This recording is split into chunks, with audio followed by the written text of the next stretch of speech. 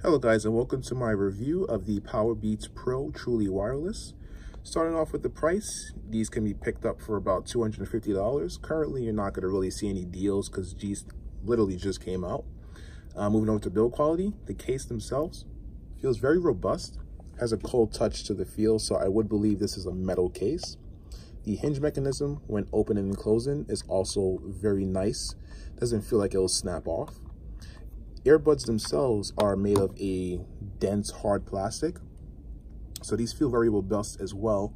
And these are water resistant, so these are great for active lifestyles where you're gonna come into sweat, uh, water, or if you're just walking around in the city during a cold climate and it snows, these should be pretty fine and wouldn't be damaged by that precipitation. Now, the actual overall build of this earpiece is excellent. So can't really go wrong with this build quality. Moving over to the comfort, you do get a wide assortment of ear tips. Also, the nozzle is pretty standard, so you can go online and find a lot of aftermarket tips that you can just buy and throw on these to get the best fit for your ears. Now, comfort for me is pretty decent. I would say it's decent because I'm struggling here with this ear tip. Let's see if I can get this on. There we go. So it's decent because I feel like these ear hooks, they will create a pressure point on the backside of my ear after about maybe an hour and a half to two hours of listening. Usually if I reseat them in my ears, kind of alleviates that pressure. But generally speaking, I would just remove them and give my ears a bit of a, a, relief for five to 10 minutes, put them back on, and then my ears should be fine for another two hours or so. So comfort wise, for me, it's quite decent. The ear hooks are the main problem in terms of the comfort not being any better than that. But the ear hooks are very useful because it is what gives this product its stability when you're active. So when I'm at the gym doing uh, burpees or HIIT training, stuff like that, if I'm doing like inclines and uh, crunches and stuff, these are not going to move at all. They are literally stuck on your ears until you forcibly take your hand and remove them from your ears. So this is very, very, very good. These are great for active lifestyles as a result, and even just day-to-day -day use, because I know a lot of people run into issues with earphones and you're just walking around, or if you're, say if you're eating and the movement of your jaw uh, causes the seal in your ear to change. So what's gonna happen is the earphones are gonna slowly just start slipping out of your ears and eventually fall right out of your ears. With these, you don't have to ever worry about that at all. Moving over to the features. Features set on these are probably the reason why I would say these are my favorite overall truly wireless at the moment. And it's partly due to the Apple's H1 chip, which one creates a very seamless pair. So it's not just the fact that these compare to your iPhone or your iPad with just one button. It's the fact that once you hit connect, it'll pair to all of your Apple devices throughout your Apple ecosystem through your iCloud account. So anytime you need to use these on, say, even your Apple TV or your MacBook, which wasn't even part of the pairing process, this will pop up as a connectable device automatically.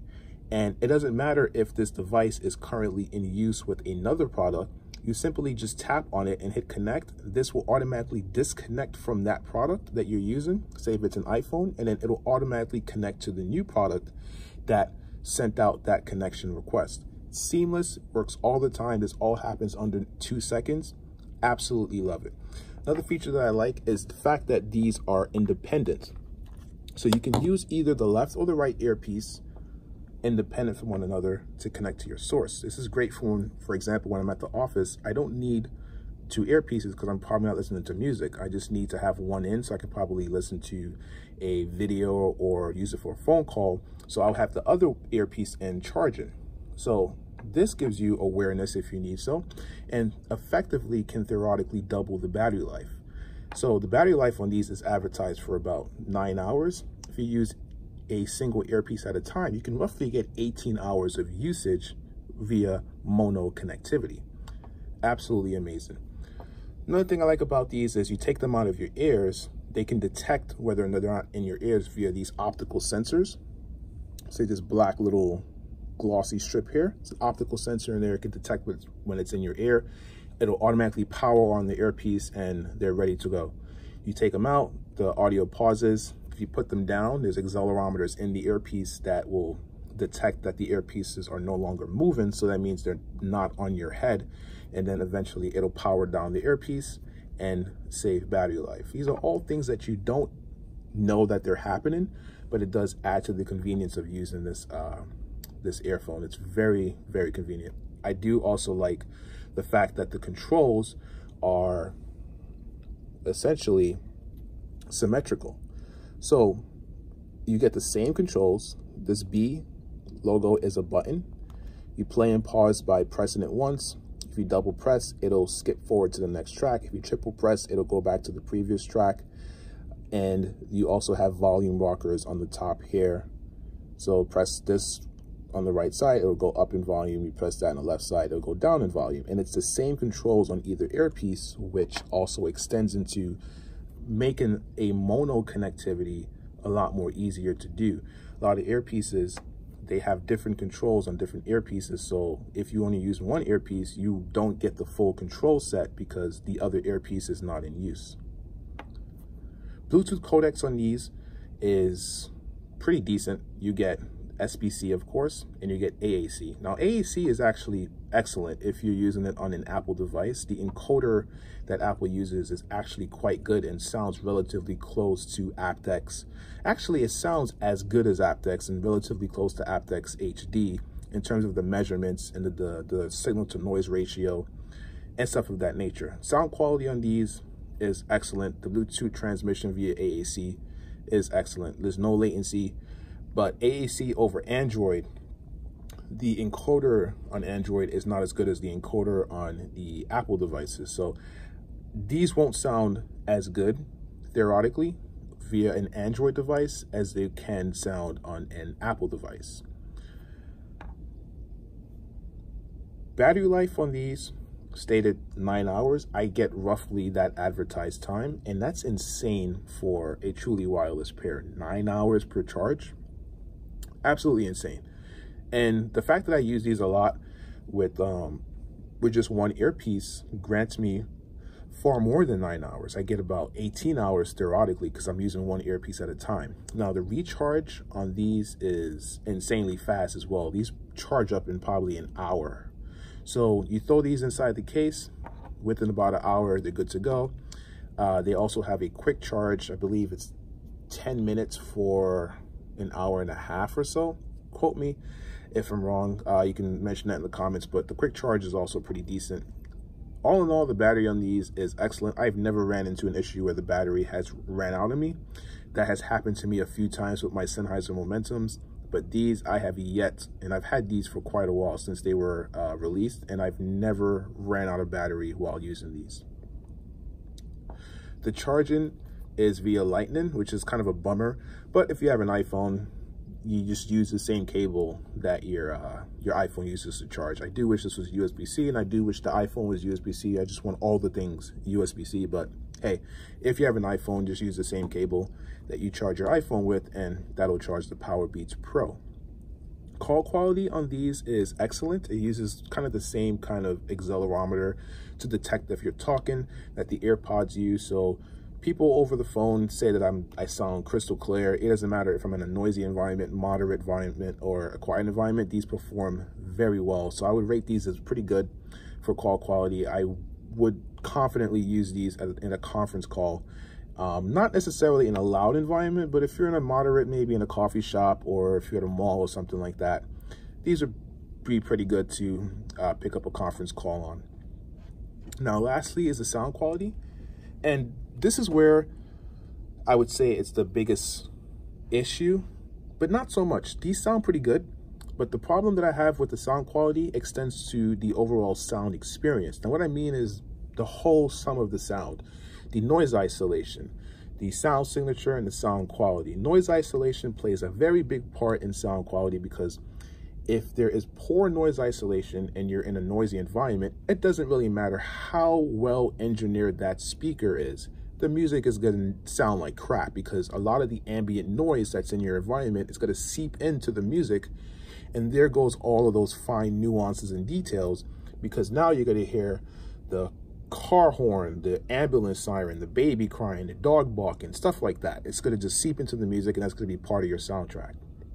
The issue I have with these is the noise isolation is quite poor. It's a little bit better than the earpods, but if you're using these for commuting purposes or just walking through the city, you're going to hear a lot of what's going on. And as a result, you're going to want to crank the volume and as you crank the volume, the issue that I have with the sound signature in the Powerbeats Pro becomes evident. And that's the fact that it has quite a elevated treble over the rest of the frequencies.